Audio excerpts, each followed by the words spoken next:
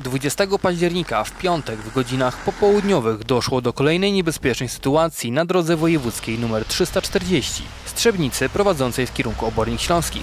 Na wysokości skrętu obok Malczowa doszło do niebezpiecznego zdarzenia, któremu towarzyszyła dramatyczna kulminacja.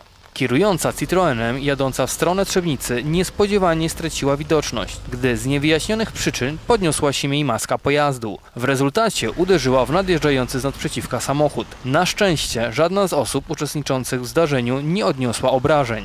Nie tylko warunki pogodowe, ale również niewłaściwe funkcjonowanie pojazdu przyczyniają się do wzrostu ryzyka na drogach. Policja apeluje o zachowanie szczególnej ostrożności i przypomina o konieczności regularnych przeglądów technicznych. W trakcie zabezpieczania miejsca zdarzenia kamera była świadkiem kolejnej dramatycznej sytuacji. Auto na zakręcie próbowało wyprzedzić ciężarówkę, gdzie policjant kierujący ruchem dał znak do zatrzymania.